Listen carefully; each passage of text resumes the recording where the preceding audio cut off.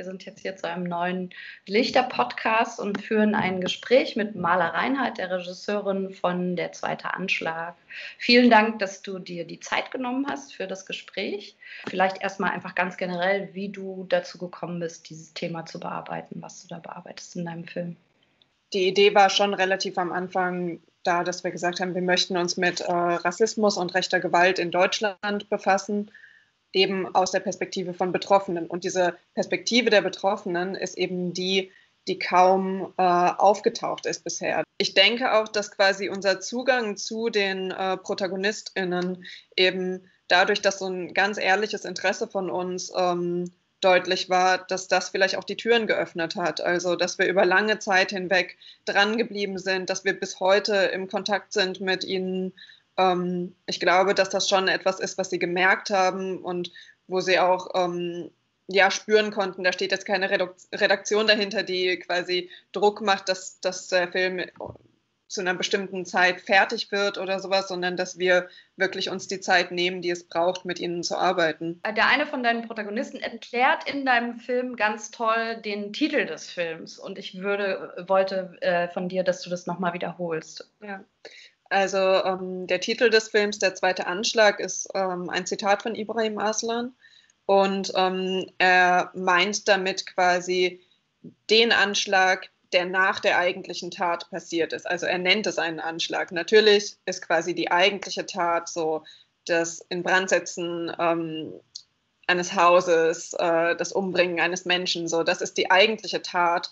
Und er beschreibt aber mit dem zweiten Anschlag alles, was danach passiert ist. Also den Umgang der Medien, der Gesellschaft, der Justiz, ähm, der Polizei mit den Betroffenen. Also es sind eigentlich sehr, sehr spezifisch die Erfahrungen, die unsere Protagonistinnen gemacht haben nach der eigentlichen Tat, sodass sie quasi gespürt haben, es gab nicht nur diese, diesen einen Anschlag, sondern es gab auch im Nachhinein einen zweiten Anschlag, ähm, der den Ibrahim Aslan auch einfach als sehr viel traumatisierender und ähm, verletzender empfindet. Also so wie er es im Film beschreibt, ist das quasi der schlimmere Anschlag von beiden. Also das sagen ja eigentlich alle Protagonistinnen, dass dieses gehört werden und überhaupt einfach, dass diese Opferperspektive mal wahrnehmbar wird und dass das eine ganz, ganz wichtige und auch äh, wichtige und auch erleichternde Funktion hat tatsächlich ne, für, die, für die Opfer. Ich denke, denke auch, was ähm, deutlich wird im Film, ist ja, dass ähm, unsere ProtagonistInnen eben sprechen möchten. Also sie möchten sprechen und sie möchten auch, dass Menschen ihnen zuhören. Und ähm, das, was quasi für uns ganz am Anfang stand, unserer Überlegungen, beim, äh, als wir in, in, dieses Filmprojekt eingestiegen sind, war eigentlich so diese gesellschaftliche Stille. Also wir haben sehr viel darüber nachgedacht, dass eben natürlich alle Menschen darüber Bescheid wissen. Alle wissen über ähm, weiß ich nicht, rechte Taten Bescheid, ähm, haben davon schon mal mitbekommen. Und trotzdem gibt es so eine Art Schweigen darüber. Also die Menschen wissen trotzdem nicht, wie können sie darüber sprechen, so was für Worte können sie verwenden.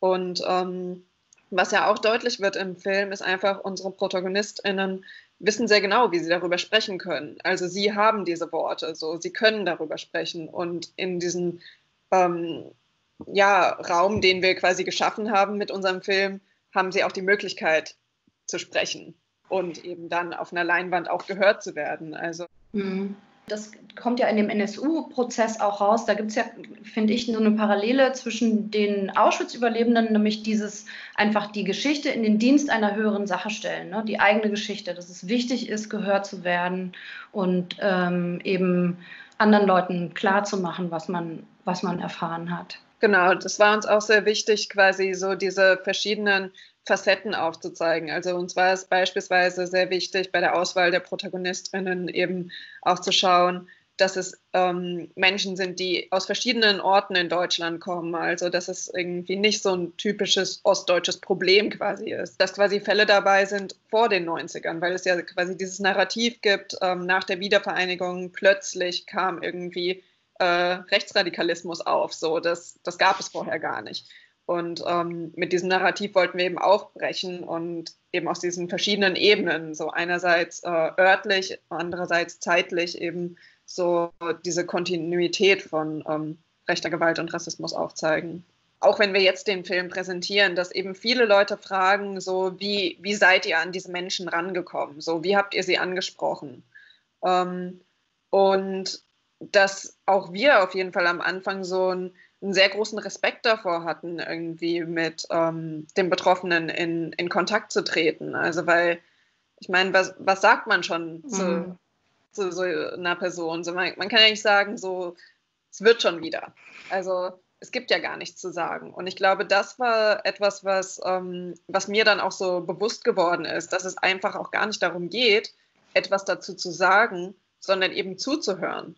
Und mhm. ähm, dass es eine sehr, sehr große Offenheit gibt von ähm, den Betroffenen, die wir zumindest getroffen haben, ähm, zu sprechen und äh, genau, also auch einfach gehört zu werden. Wir hatten keine äh, großen Namen quasi, die jetzt irgendwie, wir waren auf keinen Filmschulen, ähm, konnten quasi keine ähm, Dokumentarfilmprojekte nachweisen, die wir, äh, auf die wir uns quasi so beziehen konnten.